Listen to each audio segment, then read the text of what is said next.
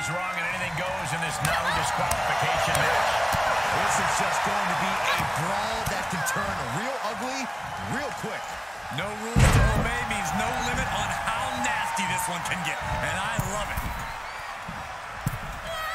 She lands hard.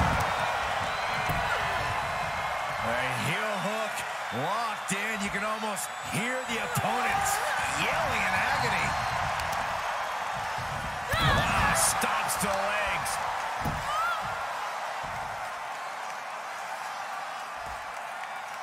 Stretch. Oh, and she turns it around. Catapulting down the opponent.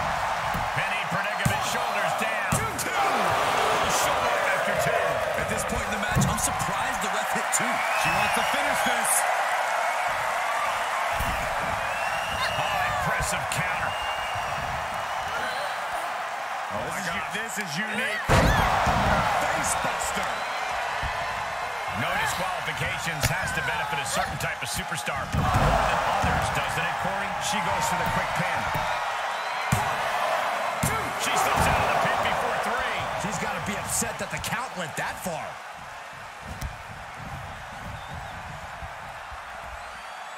Rolling elbow right on the mark. She's feeling the hurt here. She can withstand the punishment, though. And now she's climbing to the top. That's insane! The W is well in hand.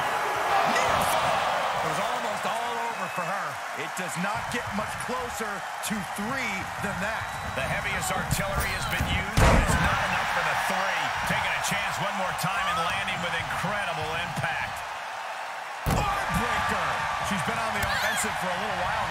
She's fighting hard and reaping the rewards. Expected that one.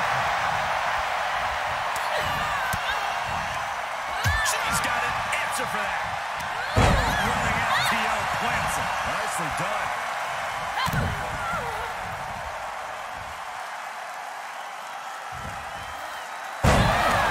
DDT. Headed to the top rope.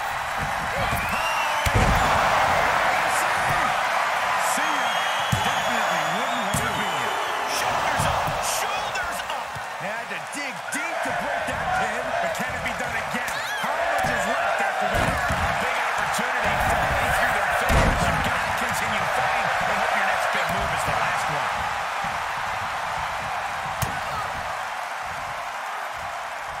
Face first with a waistlock takedown. I wonder if she can withstand much more of this. Yeah, she's on the bad end of every maneuver. And she gets herself out of a precarious position. And the reversal. Eye for eye here.